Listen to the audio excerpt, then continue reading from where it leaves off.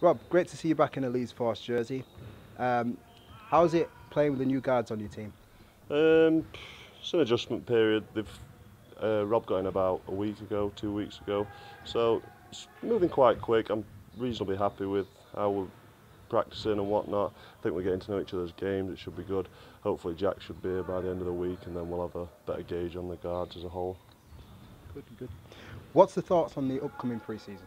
Uh, I'm pretty happy with the the pre-season schedule. We've got Manchester on Friday, which is obviously going to be a tough test. They've year on year they're always successful in Division One, so that'll be a big test. And then we've got an away trip to Plymouth, which it's looking like they've done had a really good off season, recruited well, and then uh, back to Cheshire at home, which again every game like in the BBL is going to be tough. So we've got a nice test going into pre-season, but our work rate's high, and I'm looking forward to it. So.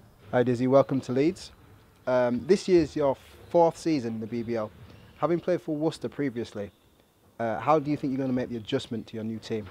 Um, like you mentioned in the question, I've been in this in this league for three years now, and like I've had a bunch of players, like a variety of players. So I'm I'm adjusted. Like I I know what to expect from from this league, and I know that with like the knowledge I've had over the three years, like adjusting to a new team and new system and new players is is what I'm used to doing. So I feel comfortable in that position.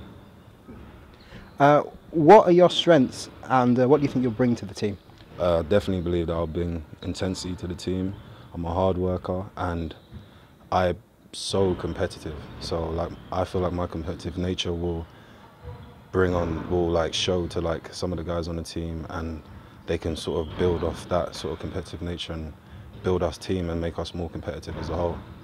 And finally, uh, what do you expect from this season? Um, I expect us to be very competitive.